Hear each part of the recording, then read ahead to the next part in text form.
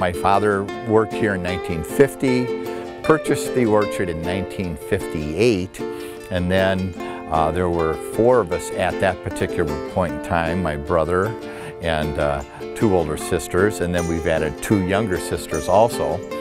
And then he started to expand. And so in uh, 1963, we bought an orchard in southern Minnesota to, because of the climate maybe just being a little bit different down there.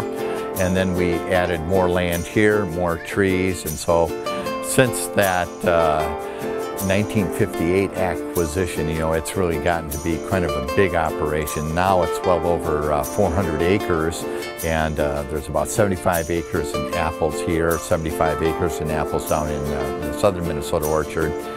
25 acres in strawberries, about 20 acres of pumpkin, corn maze, and uh, all the other land that we use to support those two agricultural operations. We will get our pie, we will get our donuts, we will get our apple cider, whatever. Growing up, it was, uh, you know, there was, it wasn't always, uh, you know, happiness. I mean, there was there was struggles. There was uh, crop failures. Uh, you know, we we've gone through a series of droughts. You know, uh, 19 early 60s, early 80s, early 2000s. You know, I mean, we've always had cyclical weather problems. You know, hail, high wind.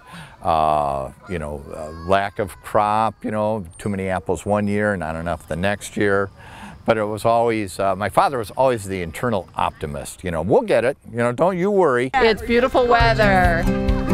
Cinnamon ice cream. Cinnamon ice cream and apple pie. and it's beautiful. Yeah. This one's the most beautiful. Yes. What we're trying to do is eliminate as many variables as we can.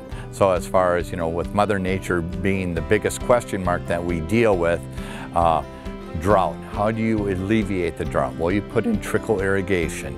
You make sure that the young trees are always having enough uh, moisture so that they can produce and grow. Close the apple. Oh, good.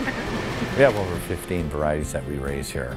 I really like the SweeTango. It's a variety that the University of Minnesota released in uh, 2006 or 7 thereabouts. And it is just a wow. I mean, when you eat it, you just go, wow, I just can't wait till I can have another one. And usually I'll eat two at a time because it's just, it's just that good. My favorite are the rollovers. They're life-changing. Full service, uh, from scratch bakery.